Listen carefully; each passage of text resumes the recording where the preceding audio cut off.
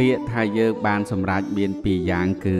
1បានហើយមិនចេះគ្រប់ទាំងនៅមានបញ្ហាខ្វល់2បានហើយមិនចេះខ្វះទាំងមិនមានបញ្ហាខ្វល់ឡើយបានទី2នេះគឺបានឃើញធម៌ដែលដឹងអារម្មណ៍មិនមែនជាអត្តាទូខ្លួនទើបបានលះបង់នៅតណ្ហានិងកង្វល់នៅពេលខឹងក្រោត កើតឡើង បើយើងនិយាយឬធ្វើតាមការខឹងក្រោតនោះឈ្មោះថាយើងបំរើនៅកិលេសមាដូច្នេះនៅពេលខឹងក្រោតកើតឡើង យើងកុំតន់សម្រេចចិត្តធ្វើឬនិយាយអ្វីអ្វីឲ្យសោះត្រូវតាំងចិត្តបំរើតែបុណ្យឲ្យល្អទៅបានហើយសុរិយាលិចទៅ ក្តៅប្រែត្រជាក់ទឹកហូរទម្លាក់ធ្លាក់ចូលជ្រោះជ្រៅ